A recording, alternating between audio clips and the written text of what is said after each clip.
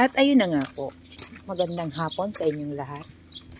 Natatanaw ko na ang aming pagtataniman bukas ng aming palay. Uh, medyo mainit ang panahon kaya pupunta po ako sa bendo machine para bumili ng drinks. At sobrang nakaka-dehydrate talaga dito pag sobra init. Ayan, di ba? Oh. Ganda ng view ko. So, bibili lang po ako ng maiinom.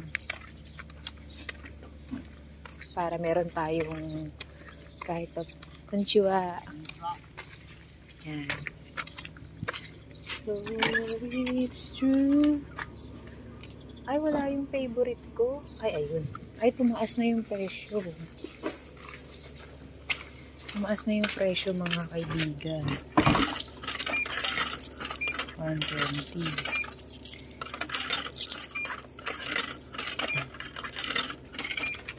So, 240 siya. So, isa.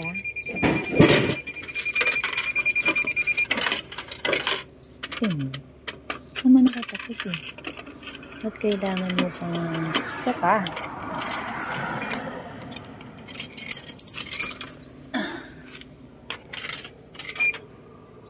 Isa pa nga, diba?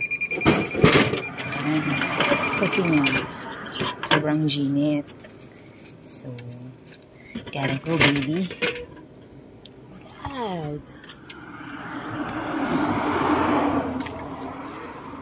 Ayan lang po yung makikita nyong view sa aking area.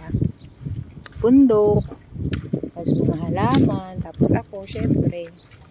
Wala namang ibang mga gagalaan dito eh. Minsan ka nga lang gumala. Nako-question pa. Hindi mo na alam ang gagawin mo dito. Sabagay, pinuntahan naman namin talaga dito eh, sa abroad eh maghanap buhay. Pero minsan, kailangan mo rin magmuni-muni minsan, di ba, pag pagod ka sa trabaho. Pagod ka na nga. Ang hirap naman ng nakahilata ka lang sa kwarto. Mag-uubos ka lang ng lakas dun. Mas maganda kasi yung, yung katawan mo, tagtag ba. Parang hindi mo maramdaman yung homesick. Sa abroad kasi, ano, mas gusto mo pang lumabas ng bahay kaysa manatili doon pag walang pasok. So, paano guys? Uh,